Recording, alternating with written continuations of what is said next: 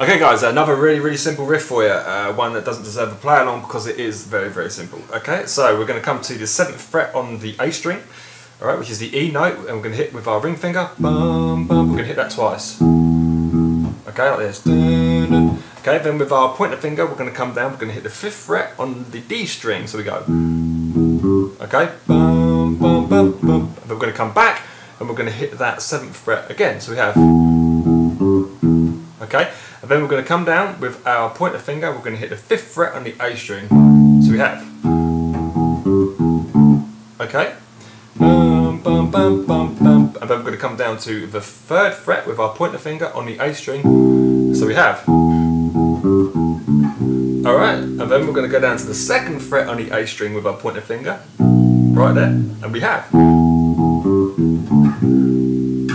And we have it. and that is basically it. So we have. Bum, bum, bum, bum, bum, bum, bum, bum, bum. Very simple, okay? It's not actually a bass line um, he plays.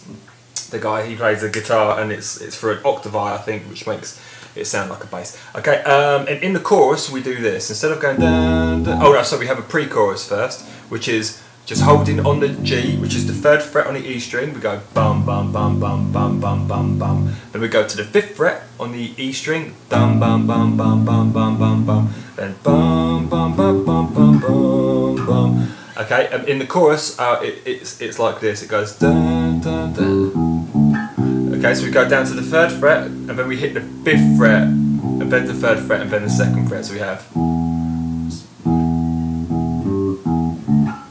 Bum, bum, bum. Okay, does that in the chorus rather than just going. Okay, does this. Okay, just does that in the chorus. So we have our pre-chorus. Dun, dun, dun, dun, dun, dun. Then we go. I think it does it on the last one. Or the second one. Does it? Anyway, it's all simple. It's all simple. Move it around and uh, you'll figure it out. Listen to the song. Thank you guys.